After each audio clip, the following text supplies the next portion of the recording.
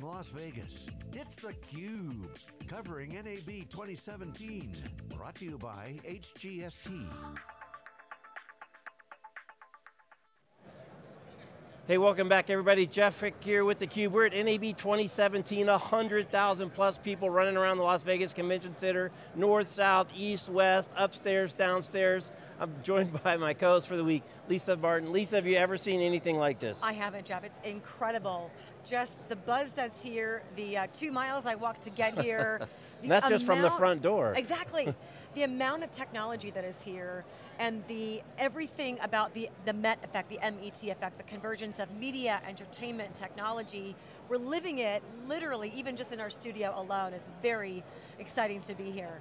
It's, it's kind of an interesting contrast, because on one hand you have this bunch of super high-end gear here, there's a bunch of green screen sets all over the place that are you know, really top end. At the other end though, you have kind of this democratization of distribution. Yes. The studios no longer hold the, the keys to the kingdom, and I just heard that that actually Netflix is the biggest movie or uh, production house going anymore. So the industry's changing a lot, but here right now, if you're a gearhead, if you're a video gearhead, this is the place to be. It is the place to be, but you, you're right about the transformation.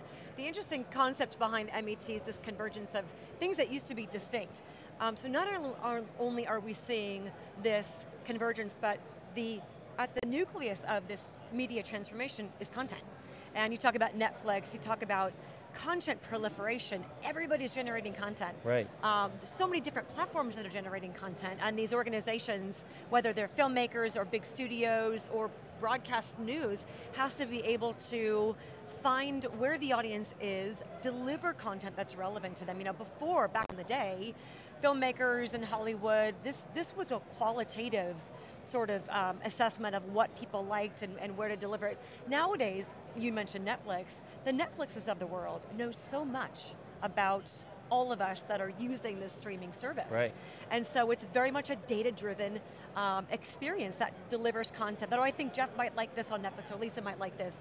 So it's interesting that with the audience in control, really very empowered, how technology can really help enable filmmakers, studios, writers, news broadcasters to be much more data driven. So I'm excited to hear about machine learning, artificial intelligence, how all of this data is being stored, taking advantage of the latest technologies. Right. Because the, because the consumer has so many choices, they have so many options, that if you don't know who your audience is and get your product to that audience, the chance of you holding them is pretty slim. It's Absolutely. no longer just four, four channels or even hundreds like there used to be on early cable days. Now it's literally thousands of options that are one swipe away, so you really need to engage your, your audience. And, and there's some talk about that. Actually, I think we've got a guest later today who'll be talking about kind of a little bit more sophistication about audience identification and, and getting in contact with that audience.